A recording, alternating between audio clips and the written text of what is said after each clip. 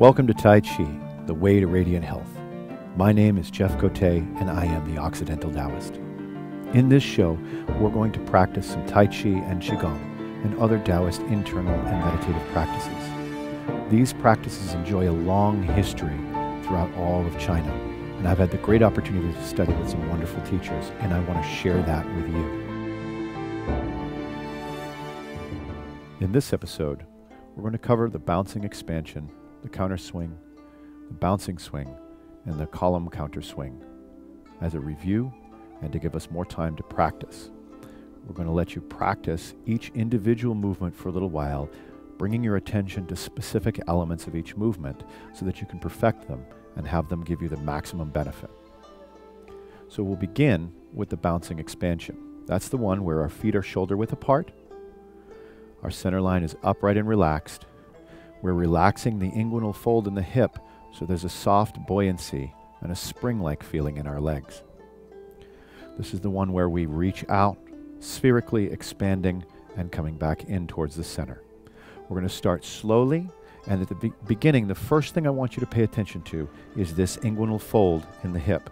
We want to make sure that there's a rising and falling in this hip and a feeling of the center line moving straight up and down. Now, one of the best ways to accomplish this is to feel the triangle of the foot that we're going to stand in. If you think about the foot, it's got across the ball of the foot to the heel forms a triangle, and that's the load bearing portion of the foot. We want to make sure we're going straight down into the center of that and straight up and down through the center line. So before I even begin the expansion, I'm going to begin with just rising and falling like this, letting my center line go straight up and down. So we start and just work with that movement, nice and relaxed, feeling the center line moving up and down, and our weight going into the center of the foot. When practicing to enhance my feeling awareness, at times I will close my eyes, and I will encourage you to close your eyes and really feel the center line. Turn the eye focus inward as though you can picture and look at the center line moving straight up and down. You can look at the hip, knee, ankle fold that helps you get the weight straight down into the center of the foot.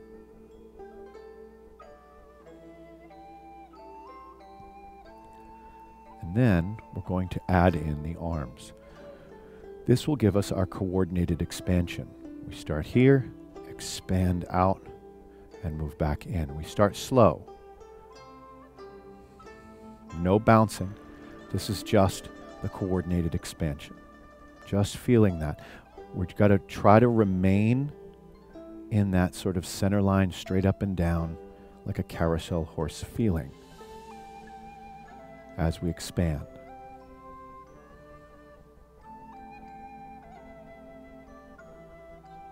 Then we're going to add it into a bounce where we go out and drop and bounce in the legs. Now you can see that sort of coordinated bounce. The arms cross, the body bounces. I'm putting a little stop motion in here in each action, and I want you to do that with me. Just kind of stopping and stopping at the two extreme points here, finding it here, getting that little bit of bounce, bounce, and back up. But then we're going to just let it be contiguous.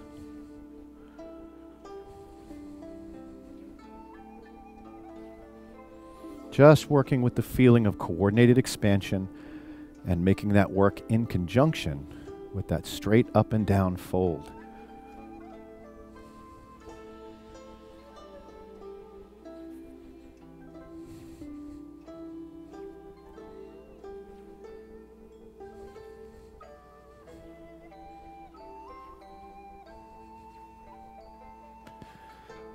And then last, we want to start to consider the three elements of all Qigong, what are known as the three regulations. The first regulation is the regulation of the body, which we've been discussing. What is the body doing? How is it doing it? The second one is the regulation of the mind. What is the mind doing? And how is it doing it? In this particular case, we're trying to get a feeling of the center itself expanding spherically you want to let your awareness move from the center out to the back. Center move from the center out to the sides. So it feels like we expand as a sphere, moving out and back, out and back. And then the last regulation is the regulation of the breath. And what we're going to do is we're going to let our breath be full and natural. We want to breathe to the center. This should help us with our centralized awareness? So as we inhale, we should get a feeling of expansion on the inhale and release on the exhale. We want our breath to move in and out through our nose, flow freely down, expand and release in a nice, consistent, thin thread that is relaxed and natural. So it may not coordinate in timing with our movements at first.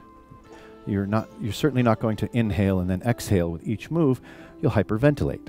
We want to avoid that. What we want to do instead is just breathe fully. Let our breath become full and flourish in the body. Try to imagine making space that as you expand in every direction doing your movements, you feel like you make space inside for the breath to fill. And with every exhale, you empty yourself of all tension, all that unnecessary activity, and all unnecessary mental activity.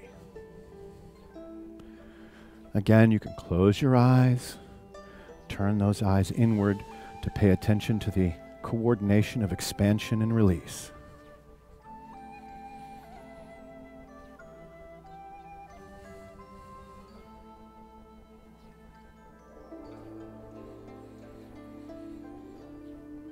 Notice how surrendering into repetition, letting yourself fall into the repetition of expand and release, lets the mind relax. It lets the body relax. It lets yourself surrender to motion, joining with the activity, with the wholeness of your being.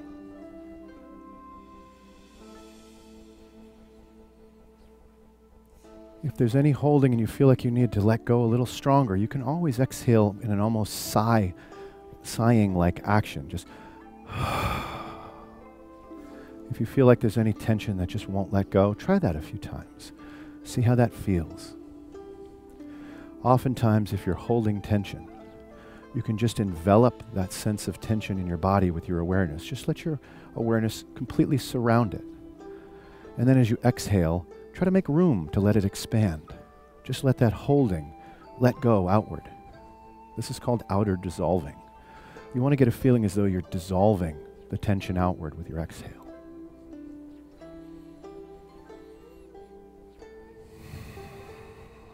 Just like that.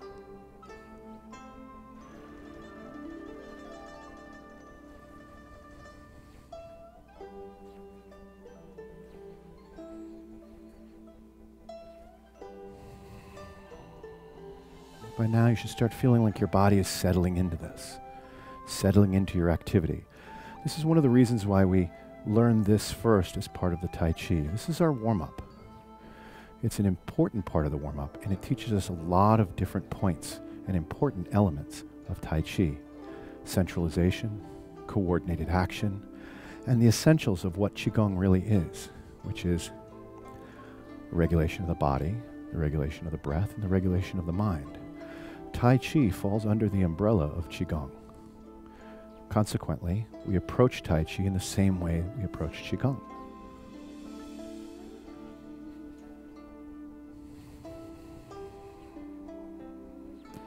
If you'll remember from last episode, we don't want to have a sudden stop. So we try to gather up the momentum and just ground it through our center. Just and let go rather than stopping ourselves hard. So that was the bouncing expansion. That's the first of our warm ups, as you'll remember from our last episode, as we began to introduce all the basic elements and the specific points that we had to pay attention to. Here, I'm trying to give you a chance to really feel each one, an individual. And then we're going to go through them again at the very end, just as we did last time as a long practice sequence. Uh, it'll take a, we'll do it a little bit longer this time. And I know this is a lot of the same activity for a couple of these episodes, but learning the essential elements here can really help you learn the other stuff we're going to learn later. Get a lot of those basic points out of the way now in a simple exercise. When things start to get more complicated movements, some of these basic elements have to be already integrated into the way you do things. So the next one is the counter swing, if you remember correctly. This comes right out of the bouncing expansion. If we have this bouncing expansion going on, we have that lift and drop feeling. Now, I'm going to bring your attention to a specific element of this, is that lift and drop of the arms. A lot of times when people start to do this and I teach classes, people will change the movement. It'll no longer feel like it's the expansion creating the twist. They start to just turn the waist and move the arms out like this. That is a completely different exercise. It's one we're eventually going to do as part of a warm up sequence, but it is not this exercise. This isn't a trunk twist exercise. This is a counter swing exercise. This relies on the action of the lifting and dropping of the arms that we've got from our bouncing expansion. What will happen is instead of in a trunk twist exercise, if we turn our waist, the waist turns and that's what turns the chest. In the counter swing exercise, the dropping of the arms and the momentum of the arms in motion is what turns the chest, and instead we're going to anchor the hips. So we get this bouncing expansion, get that going again. And then we're going to let one hand go in front and one hand go in back. Now you can see that that drop in front and in back creates a twist to the shoulders. I want to make sure that my hips don't turn. If my hips turn, I'm going to transfer that twist into my knees. That's not ideal for the knee. The knee doesn't do well when it twists. We want to keep that in its hinge relationship.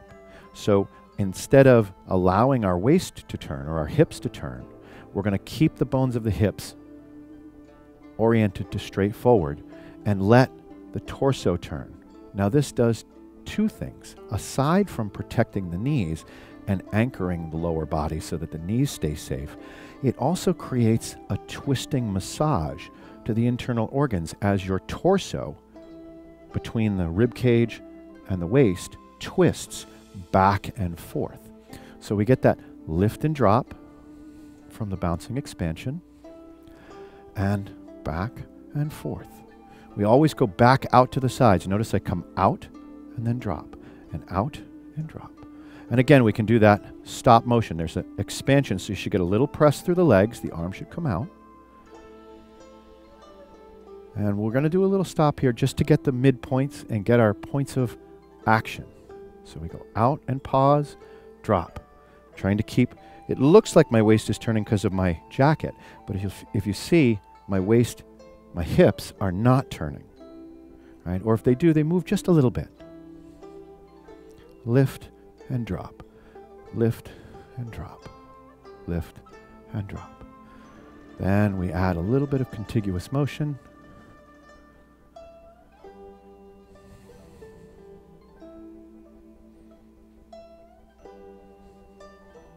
Now, what I want you to direct your attention to, now that you have the basic action happening, I want you to feel the space between the chest and the lower abdomen, what they call the middle dantian and the lower dantian. Feel what's going on in between there, not just in the front, but in the back as well, the whole column of the body. And just like when we were doing the bouncing expansion, trying to get that feeling of release and expand on the exhales, we've got our motion happening. I want you to just, as you inhale, let your awareness sharpen into the torso, feeling that space between those two operative centers of the chest and the hips. And on the exhale, just imagine it letting go, like any tension that you have is dissolving outward. Just letting go of all holding, maximizing the rotation, not by working harder, but by allowing more.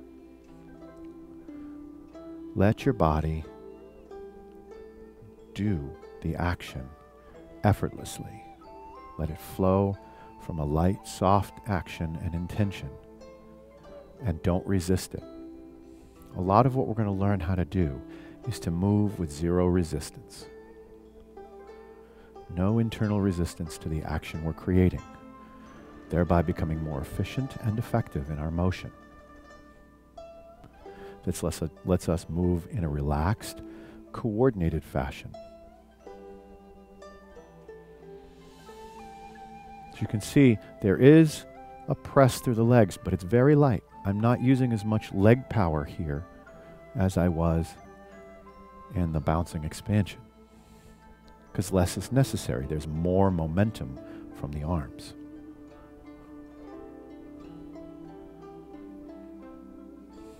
Let yourself really go and feel this. Let yourself go inward and feel this action. As you turn inward, maybe even closing your eyes and feeling that twist, just let the words that I say drift through your awareness. If something feels important, go ahead and let it in. If something feels like it's a distraction to your focus, let it go. Come back to it later.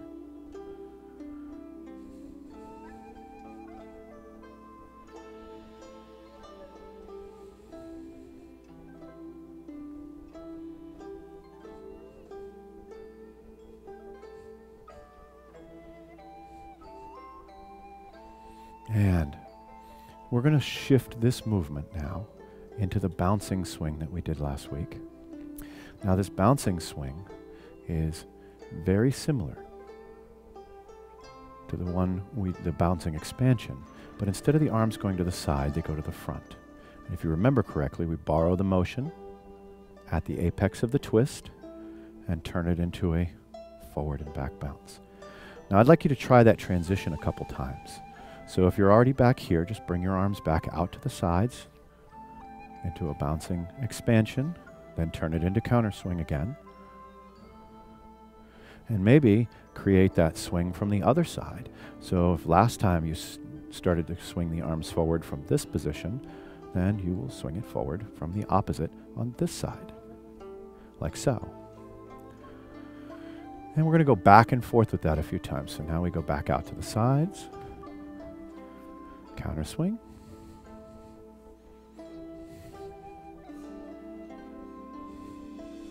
And forward and back.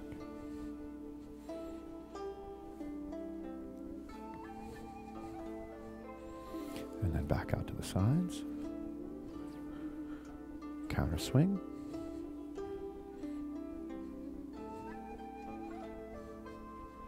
And forward and back.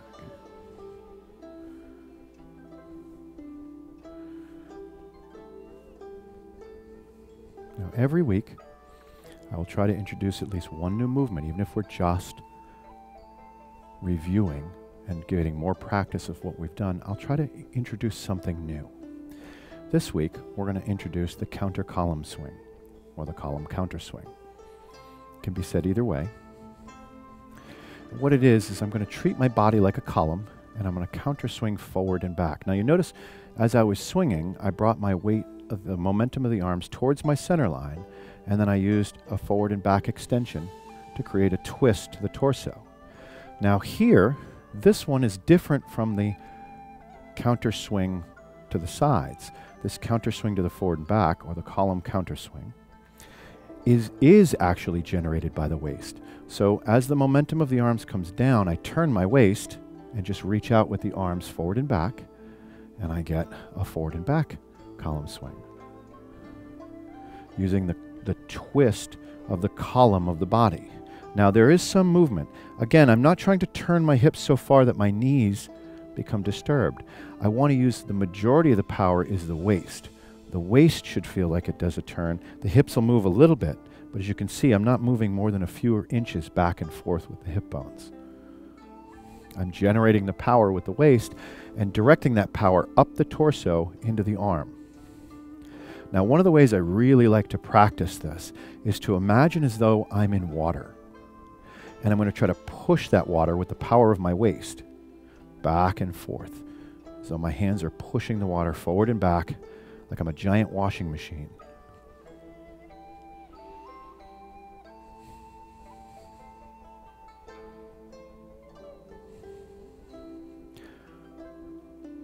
Here, we really want to pay attention to the center line and make sure that it stays upright and that we don't shift our weight back and forth. We're not trying to turn and shift like so.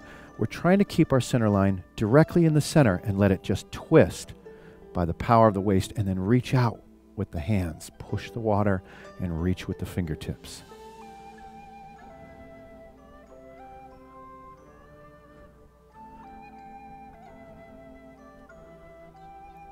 Waist generates all the motion here.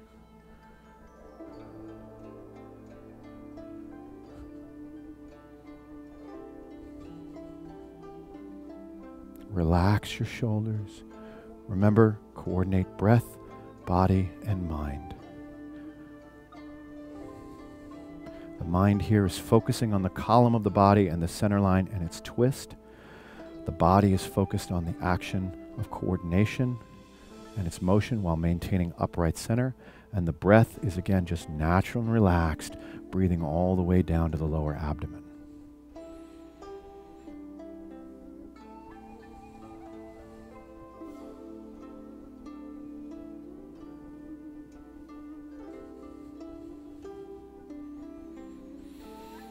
And bring no hands to the center.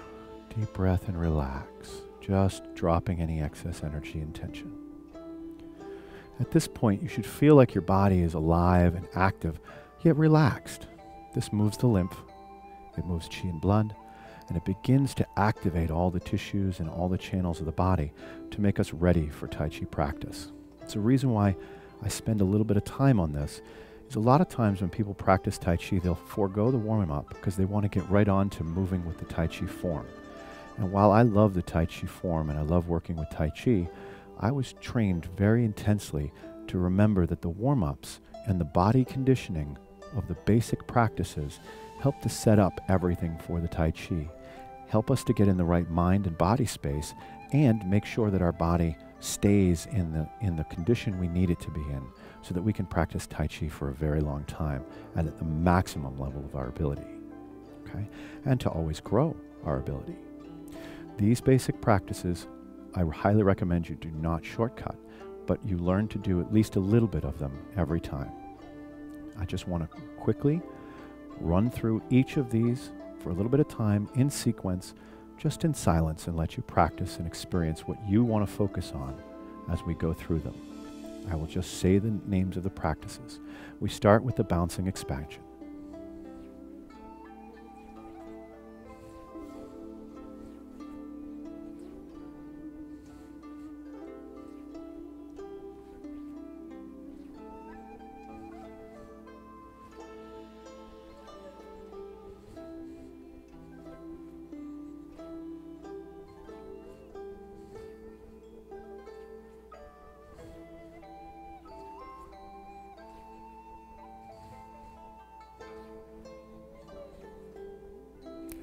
Swing.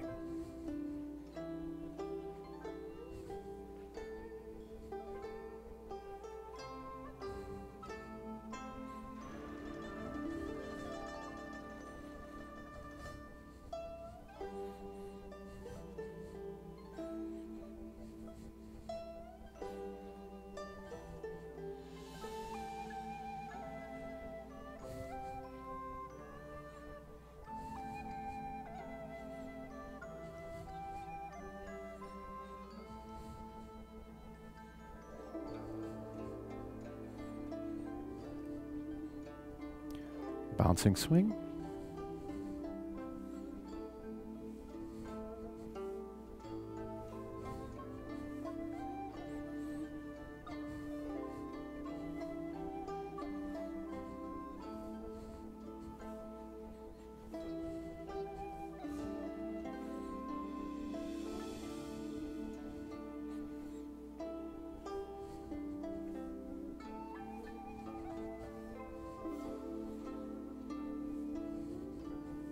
And the column counter swing.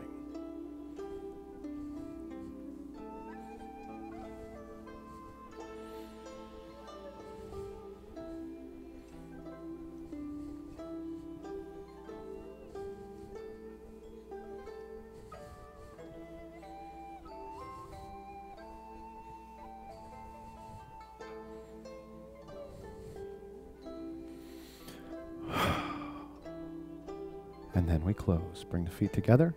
Deep breath in.